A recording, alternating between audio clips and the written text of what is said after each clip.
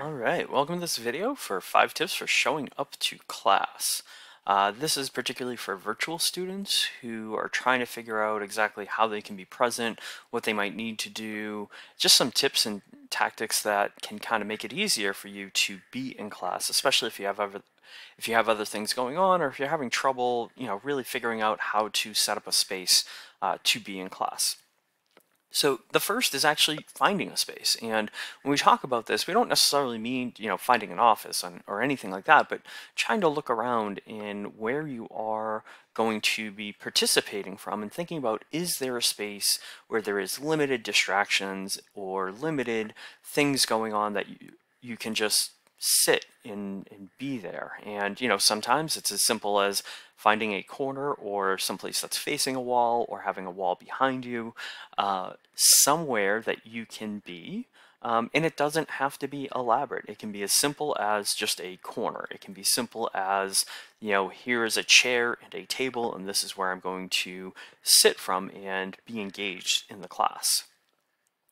There's also, and, and, students have mentioned this before, that sometimes seeing themselves for hours on end in these classes can be tiring or distracting. So if you want to remove yourself, still be on video for others to see, but not necessarily have to be constantly looking at yourself.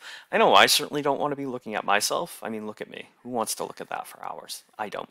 So one way to address that is to turn off the video to yourself, but keep it on for others. And it's actually really simple to do. So when you're in the Zoom environment, if you move your cursor up to the right corner of your video, you see those three little dots. When you click on them, it gives you the, this drop-down menu, and one of those options includes Hide Self-View. When you click on that, you disappear, you can see everybody else, but you don't necessarily have to have yourself projected back at you. It's very easy to undo as well. Again, you move your cursor to the upper right hand corner of whatever video feeds are in the Zoom. You click on those three dots, you click show yourself, and you're back.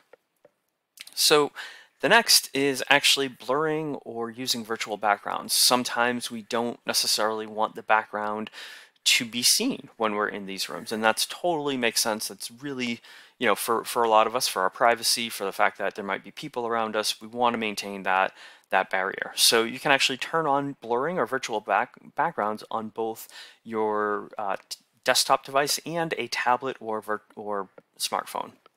Again, pretty easy to do. Once you're in the Zoom environment, you come down to where your video is, and you click that little, you know, that little arrow, uh, and you see these options pop up.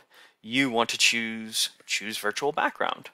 Select choose virtual background, you'll get this, and, and to be clear, this is for your desktop. We'll do the uh, phone and tablet in a moment. Once you get to this setting, you have your choices. You can blur or you can add, you choose one of these images. So if you click on blur, all of a sudden, it's really hard to see what's behind you and, and what isn't uh, in focus. It is just focused on you and nothing else. If you see in this video, I can't even see my hand uh, using the blur feature. Again, you can turn it off. Um, but if you want to add images, they provide some images, and then you can also add an image. So if you click on that little plus sign on the screen, it will give you a place to add images. And so I've added this image as my background. Again, it's all pretty easy that kind of once you're done at this point, you click the little X in the upper right corner of this settings uh, menu, and there you are. You have your virtual background and therefore anything that's going on behind you won't necessarily be picked up by the camera. Uh, and it gives you a little bit of privacy within the space that you're in. Again, you can do this on your phone. So if you're on your phone, what you'll look for is first, if you want to turn on your video, um, it is the button right down there that says start video. Uh, and then if you want more features, such as the background filters, you want to click those three dots. Once you click those three dots, again, you'll have several different options. You choose background and filters. Once you're in backgrounds and filters, again, you can click the blur button and that will blur your background. So again, if, if there's things going on around you and you don't want that to be seen, very easy to do. You can also add images, um, but before you do that, you can see this is what it looks like if you are in the blur in the blurred background environment on your phone. But again, we're back to this menu and we're going back to filters. And this time we're going to add an image. Now for this, you can only add images that are on your phone. So if there's a background you want to choose, you do want to actually download that onto your phone so it's easy to have as a background because it will first default and ask you, you know, do you want to allow Zoom to have access to your photos? Generally, in this case, you do need to say yes if you want to access those. And then it's going to give you your, your photo scroll. Uh, so in this case, these are, yes, photos on my phone, um, and I will choose which one. And then once I press my finger on it and hit OK, it will pop up as my virtual background. So again, pretty easy, pretty simple to uh, put those up as background to give you a little more privacy about where you might be. But the next two are ways to actually be more active or to really think about, you know, what it means to show up. So we talked a little bit about, you know, how to visually be present and to, you know, how you might create space or, or uh, create some privacy within doing that.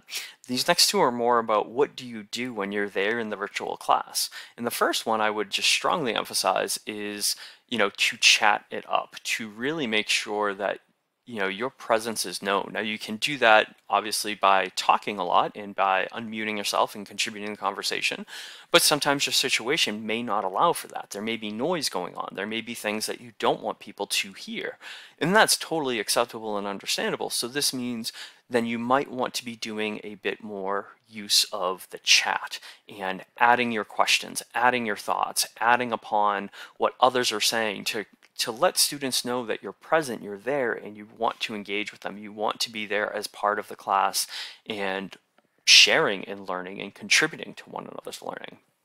So that's something to, to think about how you would do that or, or the ways you can do that when you are attending class virtually.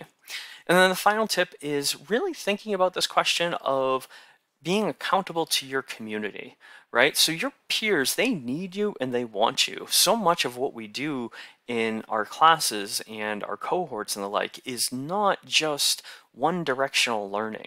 Everybody learns from everybody else in our courses. And so they need you. They want you. They want to hear from you and have you help them in their learning, just as they want to help and will help you in your own learning, in your own development.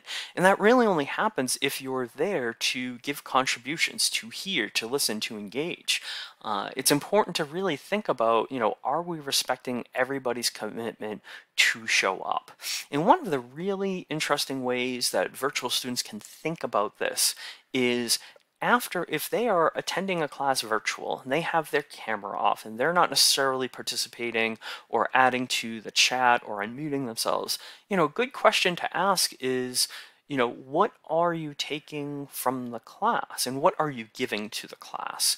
And if at the end of that class, if you've been doing other things besides just attending class, you've been, you know, doing cooking or grocery shopping, which are important things, eh, you know, very valuable things, but if at the end of that, you can't really recall, you can't really uh, think about what you learned or how you advanced your project, that does raise a question about are you attending class in the ways that are important for your learning, for your cohort, for what you're setting up to do here uh, in our in our college?